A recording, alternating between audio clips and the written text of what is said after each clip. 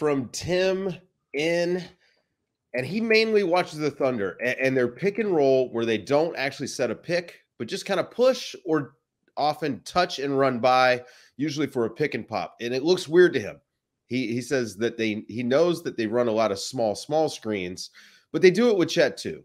Can you explain this and if other teams are doing it as much? And Mo, I believe you did a one Mo thing on ghost screens at some Yeah. point in the last year. Yeah. Yeah, no, I, I was actually going to say that. Like, this is just a ghost screen, and this is something Right. every team does. And I think part of it is the strategy behind that is that, you know, the defender's thinking, oh, a screen's coming. The guy who's on the ball and the guy guarding the screener, and they're getting ready to set that. And then, no, he just runs right by, you know, whatever, brushes Mhm. by and and whatnot and, and peels out. Then it opens up a situation where then the defense is like, oh, crap. What we thought was going to happen didn't happen. And now we have to adjust again on the fly. And I think that leads to a lot of problems defensively. I think it's a great thing for offenses. I think it's great for OKC uh, with just, you know, with, with Chet being able to shoot.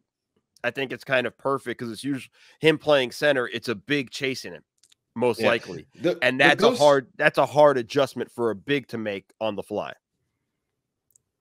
The the uh, I think the uh, they like Oklahoma City has the the has a good example of it. I think the prime realized example of it right now is Tatum and Porzingis.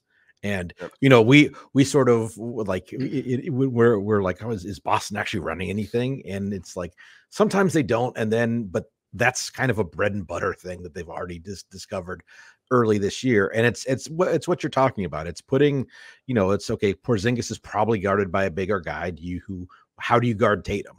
Uh, he might actually set a screen. So how does the how does the defender play that? Or do you switch it and now Tatum is going against a big, or Porzingis gets a small on him and can run him into the post, uh, which is something he's gotten better at. And so it's you know I think we Mo, you and I, uh, this show is actually we, we talk about like not loving soft switches, uh, but on like the ghost screen, like it's almost like You kind of have to. you, It's- you it's- almost it- have to so it's Yeah. so it's almost a if you have guys who if you have a guy with the ball who can shoot off the dribble it uh, it almost lets you pick your defensive matchup at times and so that's why it's it is it does if you're used to sort of the the you know the Stockton to Malone it does look weird and like why aren't they but it's it well, is- that's what I was gonna say. I mean, Yeah. this is just it's a different style of screen, right? Like when we talk about screening, we t- we typically talk about making contact, Yeah. getting good seals, and stuff like that. Like we, when we talk about Ayton and the fact that he never makes contact, the ghost screen works because they don't know that the ghost screen's coming, right? The It- idea is they need to be ready for either, and it's almost like a hesitation dribble.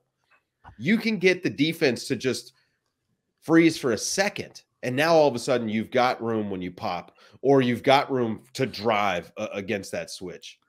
It's much closer to like a like a handoff or dribble handoff than it is Right. because it's giving you uh it's it's you know to to make a football analogy it's like a triple option because you can you can you, like two the two defenders are having to defend at least three different things and that puts you in um you can you can still guard it but the more options you're making them counter the more chances there is to make a mistake Yep. and then with you have if you have you know a great shooter setting the a great versatile shooter setting the screen like Porzingis and, and, and Holmgren is becoming that, and a you know an, an A plus guy with the ball like Tatum and Shai, both who are you know certainly in the first team All NBA conversation. It's just a very tough action to guard.